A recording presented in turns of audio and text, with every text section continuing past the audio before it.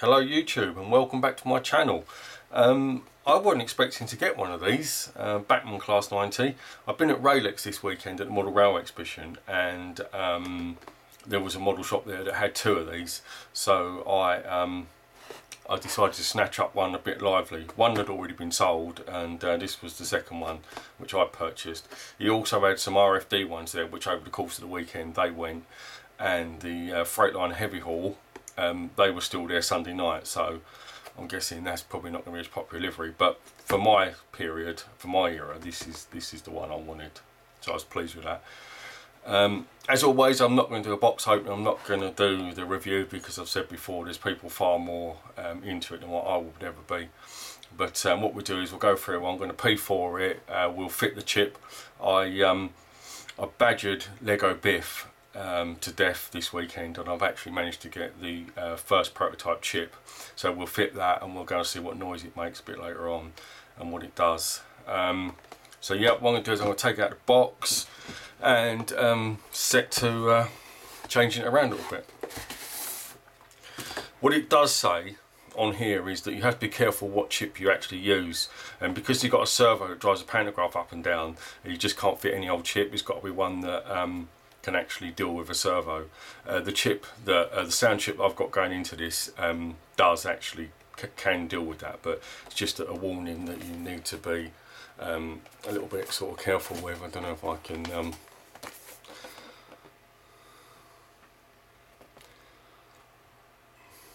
there go. Might be able to read that now. So yeah, it's just a, a word of warning that um, you need to use the right thing. Right, so it out the box.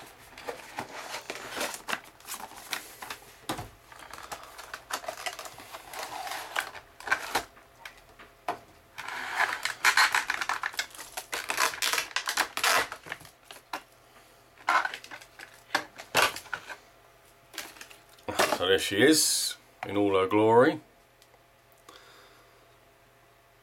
There's four screws underneath that you need to take out which lifts up this panel here. And then that's where you put the chip in. So we'll do that a little bit later. Um, um, for now what I need to do is change these wheels. So that's what I'm going to do now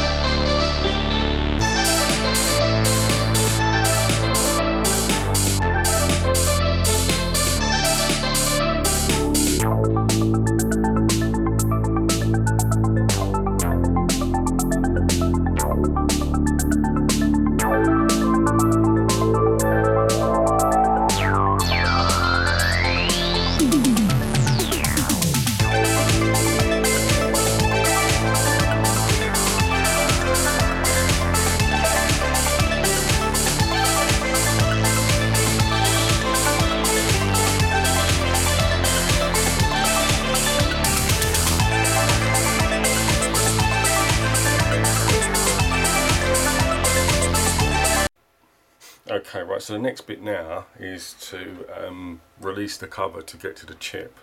So that is done by, um, as I said earlier, there's four screws. Basically just undo them.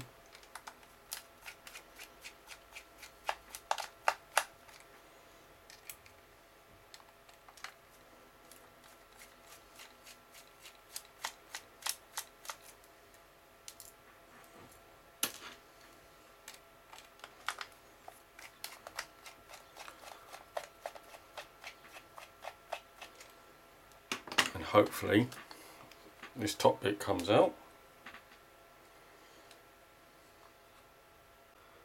Okay, so once you get the top off, just as always a case of um, lifting this chip out or prying it out gently.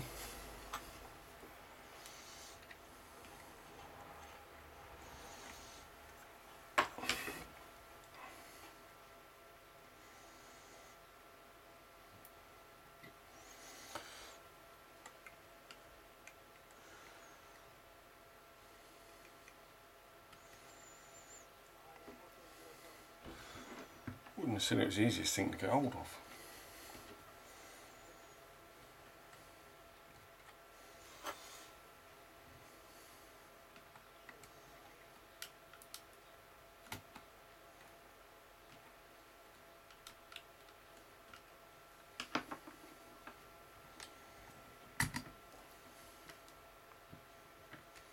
See?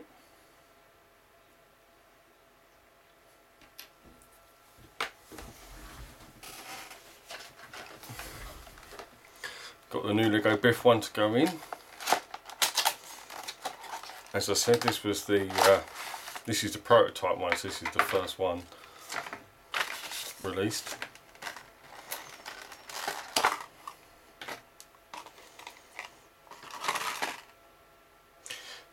Loco Woody has a speaker in it as well, so um,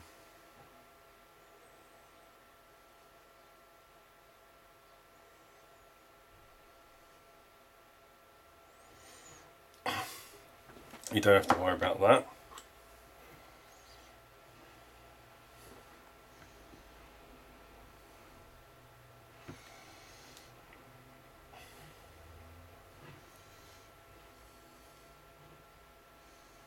Pop the new one in.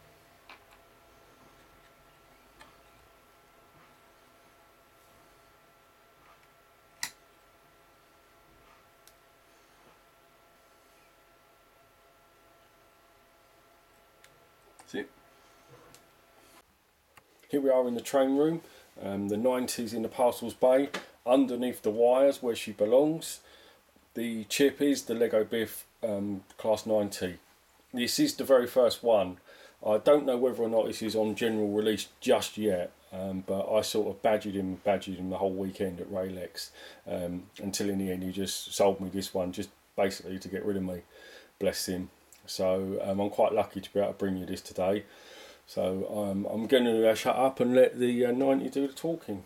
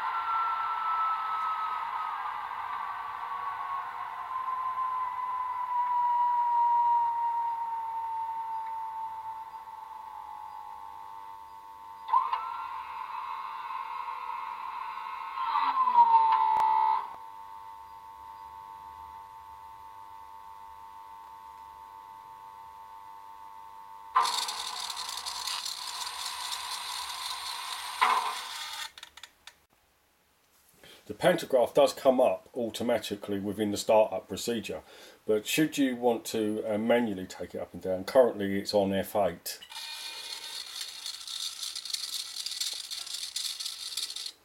One of the things that I was a bit concerned about when someone said, "Oh, there's a servo driving the pantograph," I said, "Oh, I hope that it um, it doesn't just sort of come to a set height and stop, but it is actually quite flexible, which is a really good thing."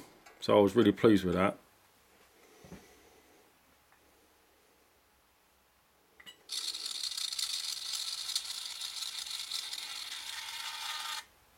So there's just a really quick look at what the 90 sounds like and what it does.